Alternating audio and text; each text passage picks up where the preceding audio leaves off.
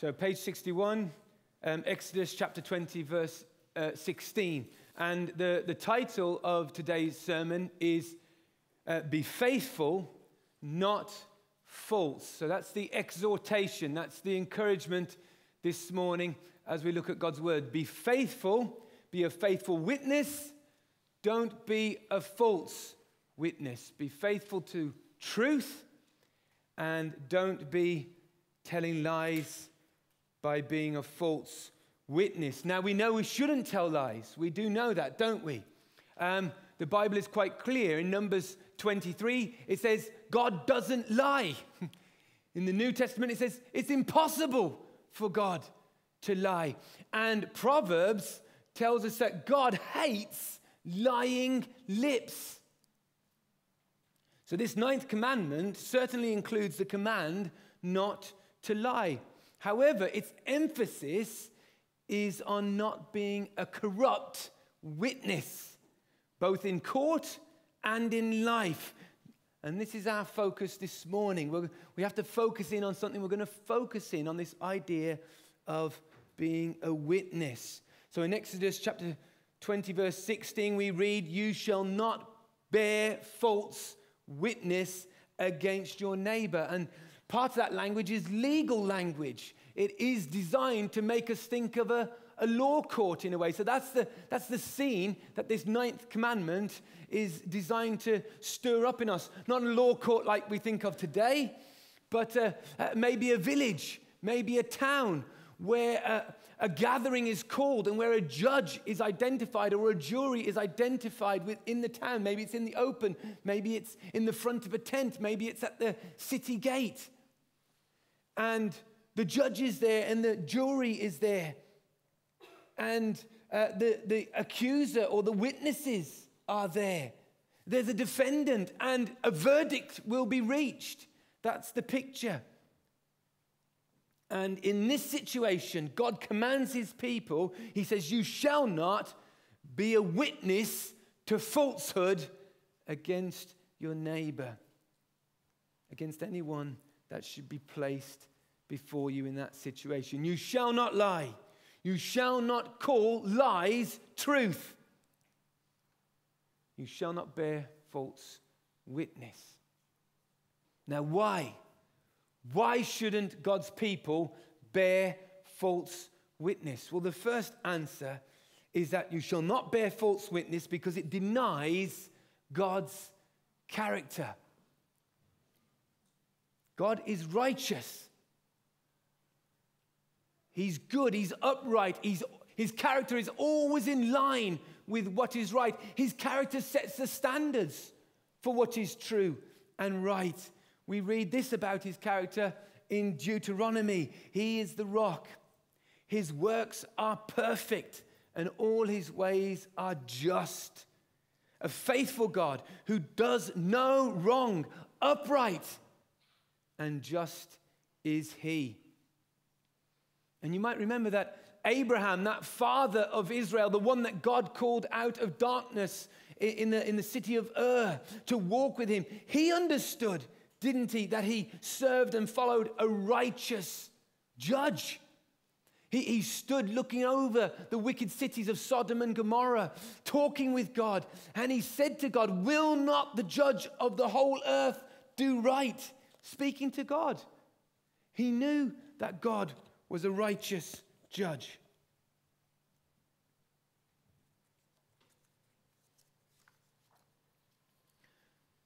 Justice in Israel was to reflect God's character. Israel were his people, and their courts were to reflect his righteousness. God was looking for a land that was filled and dotted with righteous courts, beacons of blazing light, testimonies to God's righteousness. His people were to reflect and uphold his character in their court. And so Deuteronomy 16 puts it a bit like this God is speaking through Moses. Appoint judges and officials for each of your tribes in every town the Lord your God is giving you. And they shall judge the people fairly Do not pervert justice or show partiality. Do not accept a bribe, for a bribe blinds the eyes of the wise and twists the words of the innocent. Follow justice and justice alone, so that you may live and possess the land the Lord your God is giving you. Do you see what God is looking for there in the land of Israel? This shining uh, display and reflection of his righteousness as the judge. And of course, he's looking for that in his church today from you and me, and we will take that in in a bit more detail shortly. So you shall not bear false witness because it denies God's righteous character, but it also distorts God's justice. A false witness in the court system was a serious thing. It had the power to make the innocent guilty and the guilty innocent. It had the power to free the guilty and put the innocent to death. How serious is that? In other words, false witnesses distort God's justice. They can make the system fall apart. Even though the system might be functioning and working in every other area, false witnesses breathe a poison and influence into the system which buckles and breaks it. Now, I think I watched a program once um, about metals, and uh, a metal can be very strong. Uh, but if you add another metal to it or some other component and turn it into an alloy, it can become weak just by the influence of that other metal. It can, where it would have been strong and held up a bridge, it now buckles and breaks. Where a building could have been held up and, and, and supported uh, by, these, by these iron girders or metal girders, now it crumbles and falls apart, all because of the influence of that one item. Well, in the same way, bearing false witness causes justice to collapse and it distorts God's justice. It's a real poison in the system. That's another reason why we should not bear false witness. What's a third reason why we shouldn't? Well, it results in the murder of the innocent. Of course, that isn't the case today, but in the time of Israel, that was often the case. Many of the crimes uh, or, or, wrongdoings that the people of Israel did when they came to the court, many of them were so serious that they resulted, they had as the verdict execution, death by stoning. And if you were found guilty, you were put to death. So to be a false witness was very serious. Can you see that? Your lies would often lead to an innocent person's death. And this was why, in the law, the, the, the witness, the key witness, or the key witnesses had to throw the first stone of execution. They had to begin it. It was their responsibility. They had to take responsibility for the blood of the one they were putting to death. This is how it's put in Deuteronomy 17. The hands of the witnesses must be the first in putting the person to death, and then the hands of all the people. You must purge the evil from among you. So you can see it is important to God that evil, wickedness is purged, is cleansed from the land. That is right, and the court is to do it. And if you bear witness against someone who is wicked like that, then you are justified and right. But if you bear witness and it is false witness, and you are about to put an innocent person to death, then the Lord demanded you look them in the eyes and they looked you in the eyes before you threw that stone, before their blood was on your hands. Now, in the passage we read in John chapter 8, about the woman that was dragged before Jesus by the religious leaders. There's many things going on when Jesus challenges them there. Yes, he's shining a spotlight into their hearts when he says, Let him who is without sin be the first to throw a stone. But of course, in using that phrase to throw a stone, he is also turning the spotlight back to the law, even back to this commandment, even to the requirements of God. And Jesus knows that on some level, these men are false witnesses. They are not producing the whole truth. It is a trap that they have devised to trick Jesus and to entrap him. And Jesus brings the weight of the law upon their hearts and challenges them. It's like he's asking, Who are the witnesses here? Who will take responsibility for her blood? Who will look her in the eye and claim that they have done justice here? Who will look God's righteous law in the eye and then throw the first stone? And we know they all walk away. You see, in God's eyes, it's a very serious thing to bear false witness. To say a lie is true, or to purposely speak things that are not true. So, how was Israel to maintain justice? How were they to do that? in the land of Israel? Well, we're just going to look at one way that they were to maintain justice, and we're going to call it by the witness door.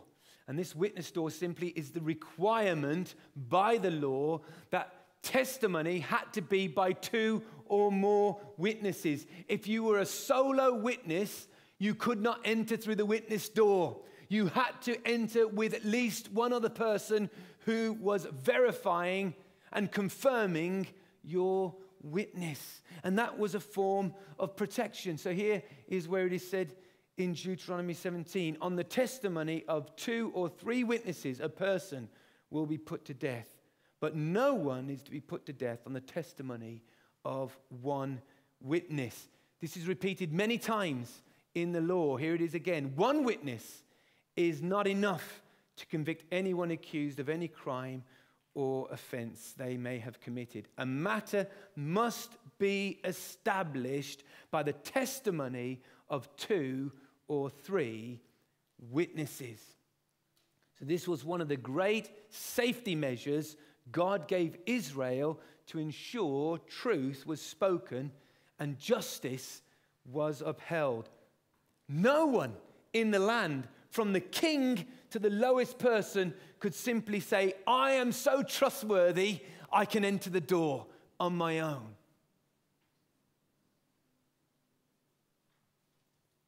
No one was to be so presumptuous and proud as to think their testimony on its own could be faultless. So, so far we have heard, you shall not bear false witness. It denies God's righteous character it distorts God's justice, and it results in the murder of the innocent, either literally, as in the days of Israel, or of a person's reputation and name and personhood today. So, how does this teaching relate to you and me this morning? We're just going to think about three ways that this teaching relates to us. And the first one is bearing false witness in society. So let's just think about our interaction as Christians. If you're a Christian this morning, think about your interaction with society. You see, it's sadly true that false witness does happen in society by Christians, by you and me. And it's serious when it happens. Well, what does it look like? Well, we're just going to focus on one area this morning. And I don't mean to be overly predictable, but we're going to focus on social media. Uh, uh it's, it's, it, it, remains a, a, huge area of our life. So, in social media, do, do you tweet as if what you're saying is truth when it could be a lie? Do you retweet lies that you haven't verified? Do you post on Facebook lies as if they are true? Or do you like a comment that is totally unverified and could be true or false? And you're quite casual. Has anyone here backed or supported or defended something publicly on social media only to find out later that it was untrue or wrong? Has that been an experience of yours? Or have you posted a comment against something claiming it was wrong or untrue only to find it was? This is not a good witness. What will society think of your claim that Jesus is the only Savior and God if they see you bearing false witness in other areas? And how does that happen? How, how is it that we can fall into this trap so easily on social media? Well, I think one answer is what we've been looking at. We don't maintain a door of witness, like we saw here in the Bible. We don't insist that what we bear witness to be confirmed by more than one reliable source. We're so quick. Rather than waiting to see, rather than confirming what we are about to declare as truth for all the world to read. So, do you remember the requirement of the witness door? Testimony is only to be considered valid when it is supported by two or more witnesses. This is the requirement that upholds truth in the court law, and it is able to uphold truth also in our social media activity.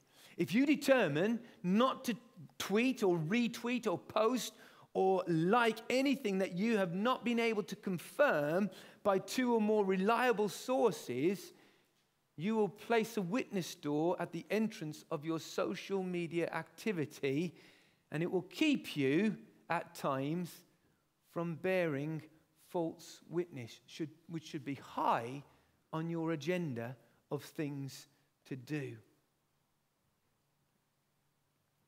Why? Because it's a serious thing to bear false witness.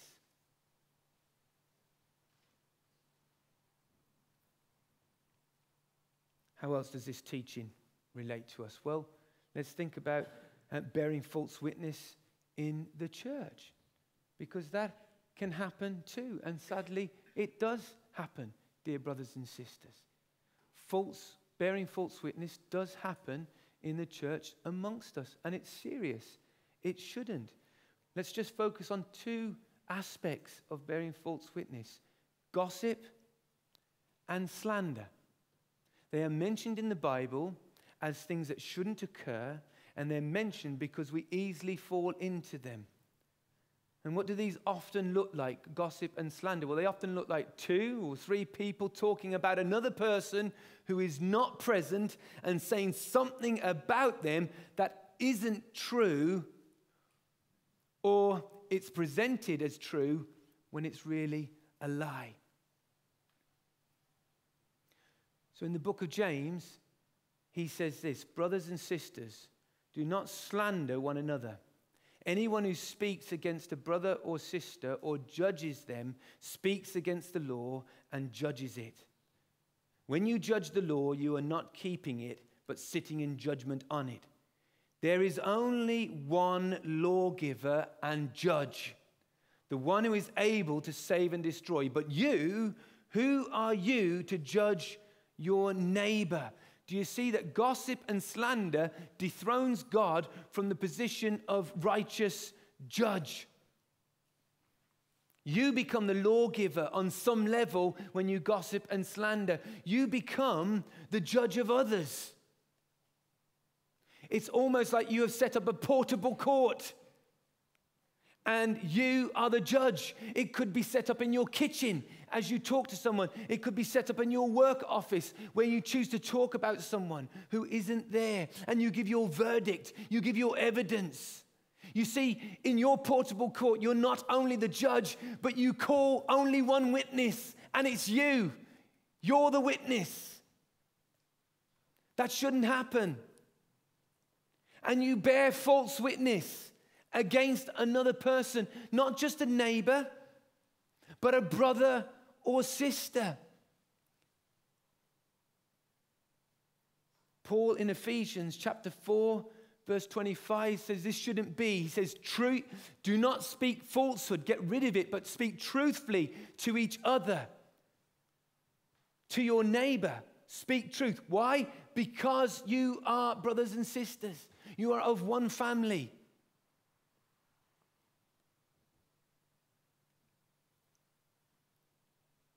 So, in erecting this portable temporary court, you have ignored the requirement of the witness door. You've entered the door on your own. And you are bearing false witness. You are sentencing an innocent person. Without looking them in the eye, it's as if you're picking up the stone and casting it at them and in some way you're murdering their name and reputation. It's serious. It's not to be done. We are not to gossip and slander. Not lightly, not purposely. We're not to do it. God hates it. He hates lying lips.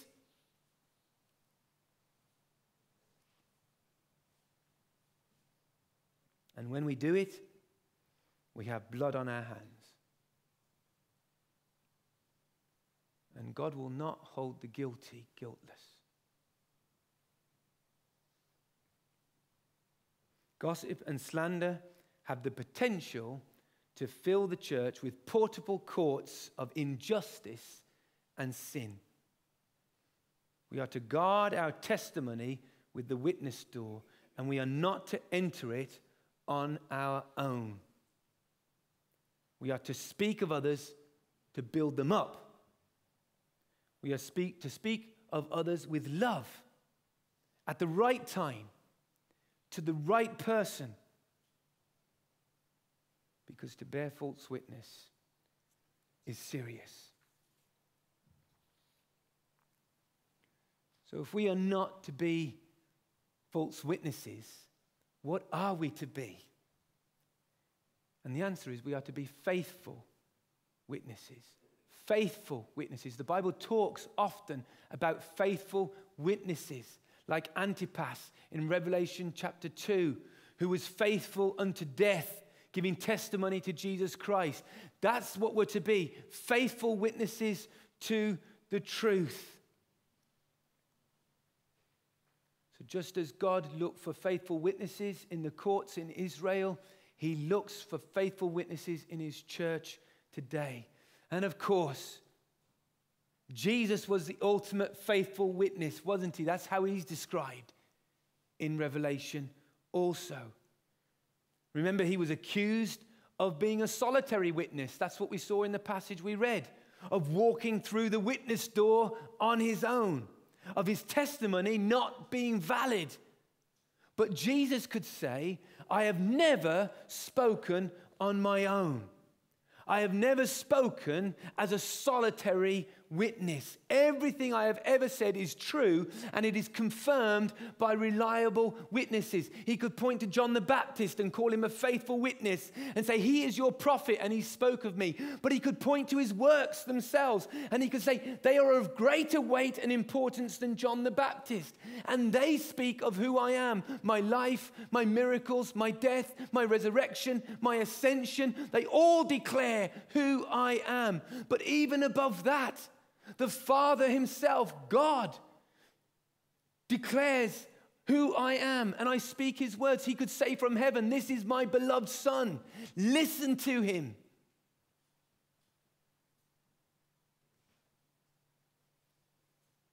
Jesus could say, I am not alone. I speak only what the Father tells me. He sent me and is always with me. When I speak, He speaks. I and the Father are one.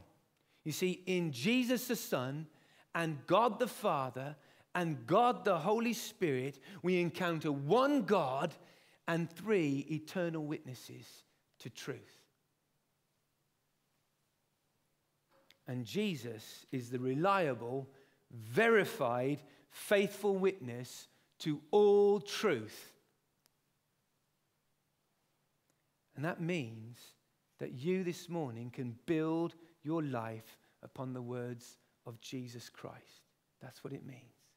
Whatever he says, you can build your life upon it. If you are experiencing the loss of a loved one, Jesus' words are reliable, they're true, they're verified.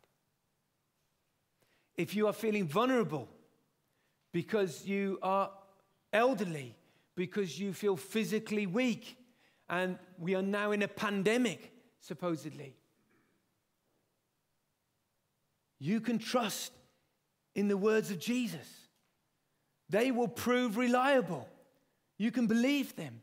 If you are in an identity crisis and you don't know who you are, you can believe the words of Jesus Christ. They are verified for all eternity.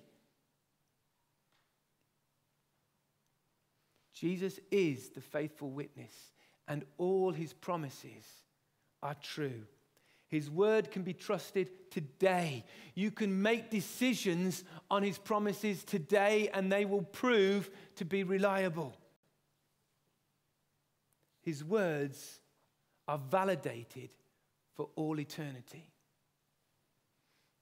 And if you don't know Jesus this morning, if you've never encountered him, he can save you from your sin and from God's judgment of your sin. He is the faithful witness who can be there at the final judgment, the court of eternal judgment that all of us will stand in. We will all stand in an eternal court of judgment. We will face the piercing eye of the righteous judge. And on that day, it is possible through faith in Jesus now to have him speak on your behalf and for his words to stand for all eternity. That you are free of sin and judgment because you have put your faith in the one Savior that God gave this world Jesus Christ, who laid down his life on a cross to be a substitute, that God might punish him instead of you if you, by faith, will admit your need of a Savior. If you will see, like those men who had stones in their hands, that they were guilty. They walked away. They should have fallen at Jesus' feet and said, Speak for me.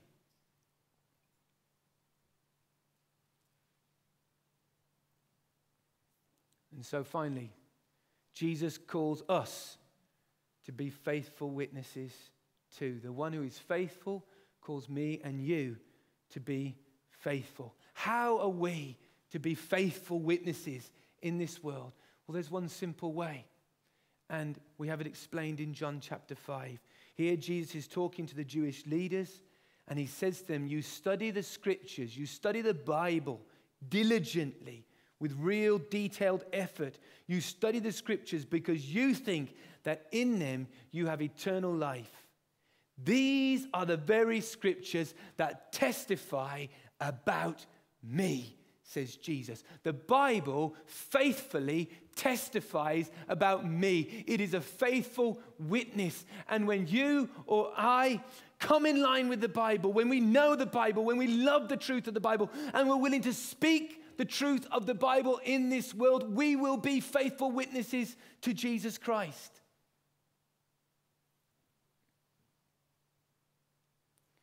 So listen to what the law said to potential witnesses to truth. There we go. says, Do not follow the crowd in doing wrong. When you give testimony in a, law, in a lawsuit, do not pervert justice by siding with the crowd. In other words, to be a faithful witness, don't fear the majority.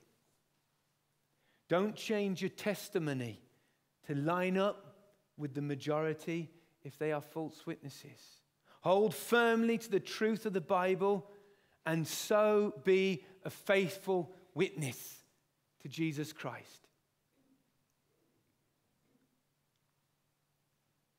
You know how tragic it is when God's people have more enthusiasm for bearing false witness, for gossip and slander, than for bearing faithful witness to Jesus. May God fill our eyes and hearts with His glory.